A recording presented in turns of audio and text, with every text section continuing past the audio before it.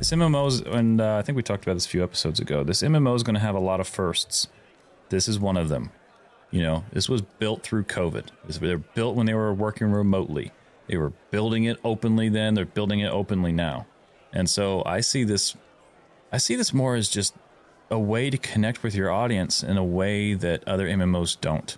And I see that more as a boon, more as a help, more as an asset than anything else.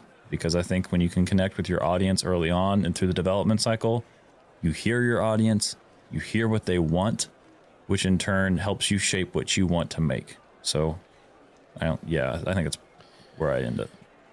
Cash, I'm gonna I'm gonna kind of clarify the question before I go to you here. Procty says marketing wouldn't point out flaws and reiterate alpha status, but oftentimes we are told that there are delays there are you know reasons why this got you know pushed back but you don't see any of that. You get told that but you don't actually see any of the actual problems. So are we uh, with the open development you would think that it would be if it was truly open you would see the good and the bad. We're really only seeing the good in the development process. So is this open development or is this not open development it's definitely open development, but again, I don't see any reason why they would not want to show the best possible product that they have out there. We do see issues, and I'm sure we're going to see plenty more when we're testing the game, right? Because the one thing they haven't done is test the game with a large amount of people in there. Sure, there's, you know, Phoenix Initiative folks and the folks who are in there from Alpha 1 there's they've done plenty of stress testing and stuff like that, but they haven't stress tested it the way it's about to get stress tested come, you know, day one of Alpha 2. It's really going to be stress tested. To go a little bit to where what Jibs was talking about, he he mentioned one thing about shaping it. I don't think it is just open development what we're seeing. I think we're seeing both. I think we're seeing open development for one I absolutely believe that we're seeing marketing. There's no reason that that both of those can't coexist together, and that is happening. Because if there was just open development and nobody was seeing it from the from the perspective of a consumer with the bit of marketing that they are doing, there would not be the amount of eyes that are on Ashes of Creation that there are right now. And the third leg to that, I think, to to to really make my point stand up is the fact that with their open development and the marketing that they're doing inadvertently, right?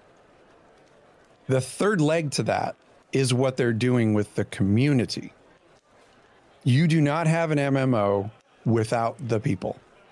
And you have a lot of people paying attention to this and watching this. That's why every content creator's streams are growing. That's why there's more eyes getting on people's videos. That's why there's more people being interested in opinion pieces because there's more eyes coming on this game. Whether it's good or whether or whether their opinions, viewers' opinions about it are good or bad, it doesn't matter. Something they're doing is working to bring people's eyes onto the game. And I think it's a mixture of all three of those things their transparency, their uh, marketing, whether or not it's intended or not, it is happening because people are seeing the game and go. It, it's as easy as this, friends. People see pretty footage of the Riverlands and they see things working, and they go, "Whoa, what is this?" That is marketing. And then the third thing that they're doing is they are growing their community from all of the aspects that they're doing they're listening to people. They're changing things quickly that we don't like. They're asking our opinions. So I think it's all three of those things that's coming together. And that's why this seems like such a strange experience because very few, very, very, very few games that are, have ever been in development have ever seen this type of microscope on everything the developers are doing.